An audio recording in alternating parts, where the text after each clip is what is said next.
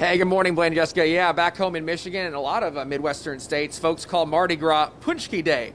And Paczki, uh, basically, fancy Polish jelly donuts. And I got to tell you a story. So every single year, my uncle Carl, he goes out to a town called Hamtramck, Michigan, right in Detroit, and he waits in line for fresh baked Paczki on Mardi Gras. And think about how cold it is in Michigan right now. He does this at like 5 in the morning he's crazy. I'm not sure if he's doing it this year because of COVID 19, but when you see what they are, I mean, it's easy to see why. So this is the finished product right here at Cafe Stella, where they've been doing it every year, about eight years now.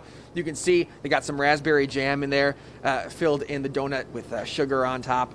Oh my goodness, right out of the deep fryer. Right here we have the uh, prepped dough, so you kind of get the beginning and the end of it here. So pretty cool. And then back here we've got some of the team at Cafe Stella. They are working hard to fill these with Bavarian cream.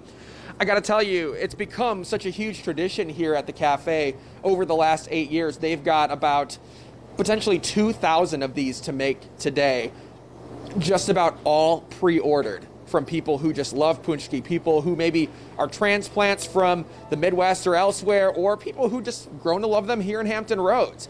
And so it's a very labor intensive process. Here's Stella talking about it. Not like, okay, I want paczki, you know, can have them in 30 minutes? It's, it's probably three hours from start to finish. And so after the second proofing, we cut them out, we proof them again, we fry them, and then we fill them. So, and then we're making our own, you know, Bavarian cream, that kind of thing. So everything's going to be like the best tasting paczki you've ever had. And so we were actually here last year and uh, you can see maybe in the video folks not wearing masks a little bit of a different time right? Uh, but you know it was really important stella says to be able to do this again this year because you know during times like the pandemic people cling to traditions for a little bit of familiarity. And so that's what these paczki offer folks. And so we're really excited to be back here again. Now as i mentioned they've got about 2000 of these to make for pre-orders.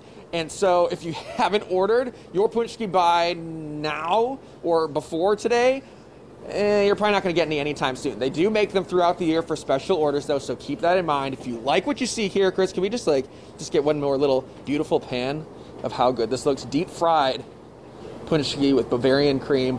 So excited to dig into this. I know I've been teasing it all morning long. I'm going to tease you one more time here. We're going to try one of these when you make a when you when you come back.